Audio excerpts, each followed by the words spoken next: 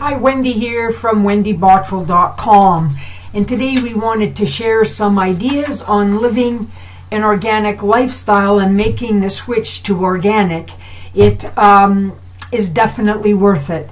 And now we feel that living an organic lifestyle means you're living in a way that's good for you, your family, and the environment. This lifestyle is one that encourages you to live thoughtfully and responsibly about how you treat your body as well as the world around you. So go organic. Perhaps you've always wanted to live organically but weren't sure where to start.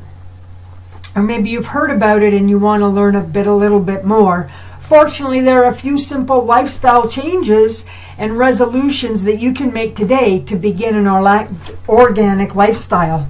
Make the switch to organic, whole, life-affirming real foods, as this is the easiest uh, change to make as more and more supermarkets are selling organic produce and pastured meats as the demand um, keeps growing from customers.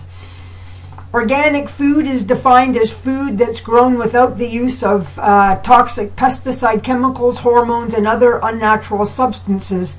Not only can these chemicals be harmful to your body, but they're all also harmful to the earth, while organic farming supports healthier soil, water, and reduced uh, fossil fuel load. When you opt to eat organic food or even grow your own food, you're helping to fight against this use of chemicals and toxic um, toxins that are harmful. You can also begin to switch your organic personal care products.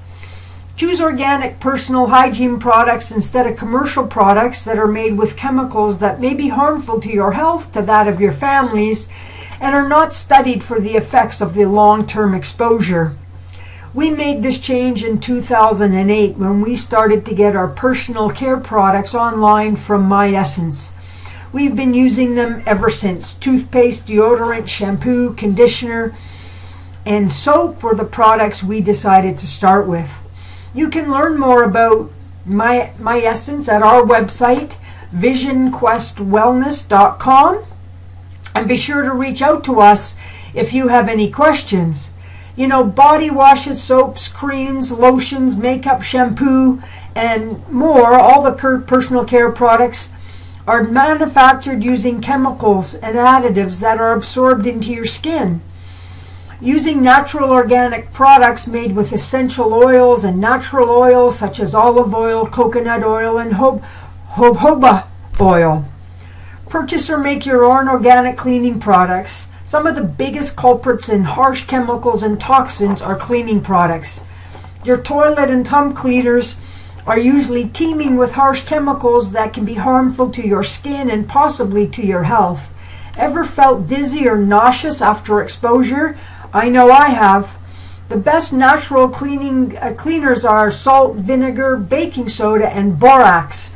And they can be used just about every inch of your home from the bathroom, kitchen, and on every stain in between. One of the best ways to go organic is to do it yourself from organic gardens to DIY cleaning products, help you gain the advantage of always knowing what's exactly in your food, your home, and on your body. Again, you can learn more about uh, Miessence at our website, visionquestwellness.com. And be sure to get in touch with us if you have any questions about making the switch to an organic lifestyle. Thanks. I'm Wendy, wendybottrell.com.